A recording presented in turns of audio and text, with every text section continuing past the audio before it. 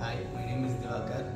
I, I completed my graduation in BSc Computer Science at uh, Patrician College of Arts and Science uh, and uh, joined uh, QSPIDERS on uh, October 2022 and uh, I take a manual testing course.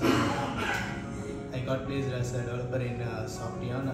Um, I joined uh, last week uh, and um, um, was referred my, my, by my brother and it is a good place to learn about learn something new about IT.